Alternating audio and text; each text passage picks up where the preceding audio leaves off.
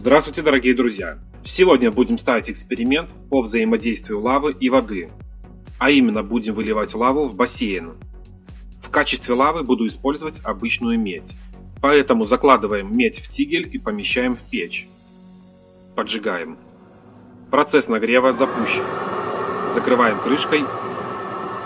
Это мой первый эксперимент по плавке металла и его взаимодействию с различными предметами. Саму печь я изготовил сам – Процесс изготовления печи я выложил в прошлом видео.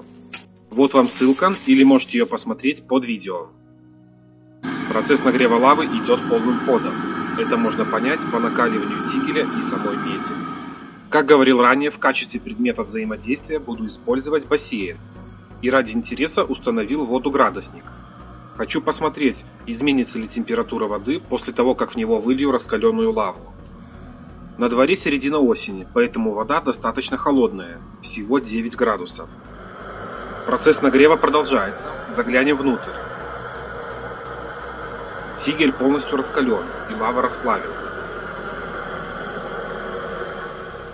Достанем тигель. Теперь несу к бассейну и выливаю.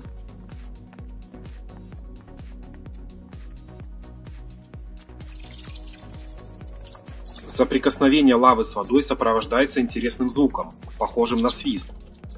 Я рассчитывал, что будет большое облако пара, когда лава попадет в воду, поэтому боялся шпариться и одел на всякий случай защитные очки. Но ни пара и никакого процесса кипения или булькания не было. Интересно почему?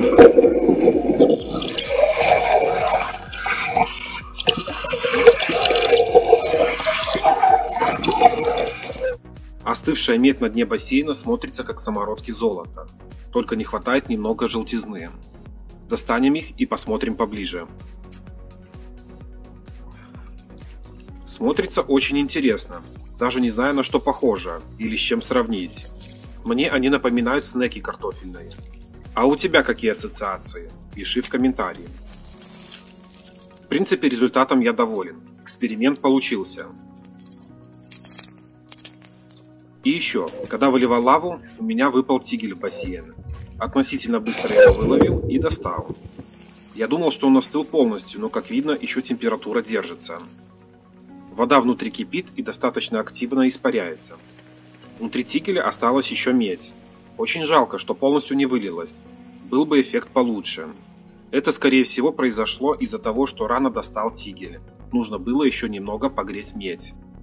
А вот температура воды в бассейне даже немного упала. Странно, учитывая, что тигель упал в воду. Да и ладно, эксперимент закончен. Всем спасибо за просмотр. Не забываем подписываться на канал. Обязательно ставим лайки. Всем пока.